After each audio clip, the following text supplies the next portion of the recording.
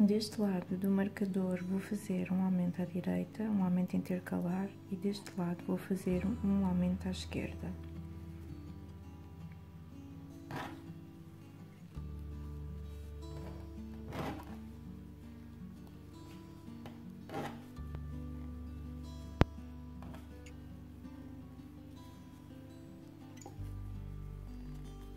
Tricota tem uma malha antes do marcador.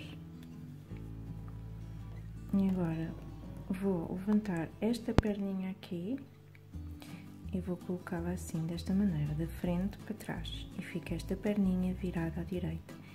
Eu vou inserir aqui a minha agulha.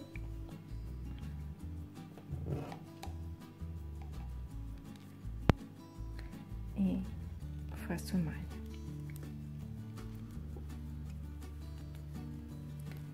Agora, o aumento à esquerda, vou tricotar só esta malha, o aumento à esquerda faço, vou agarrar também nesta perninha que está aqui, mas vou colocá-lo de trás para a frente, de modo a que esta perninha fique virada, inclinada à esquerda.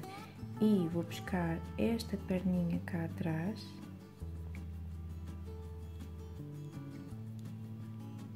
e coloco assim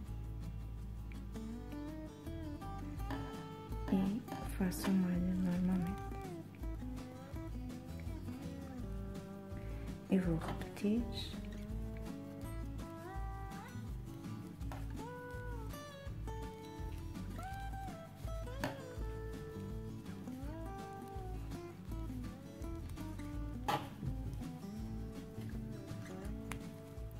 Vou chegar até uma malha antes do marcador, que é onde eu vou fazer o aumento.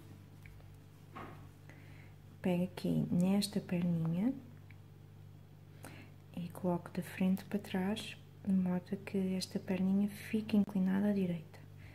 E faço a malha.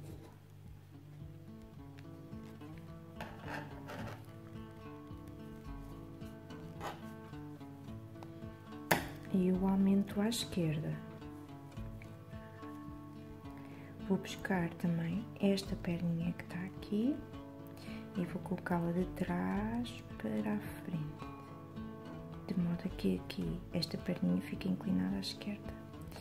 E vou agarrar esta perninha aqui atrás e vou fazer o laçado.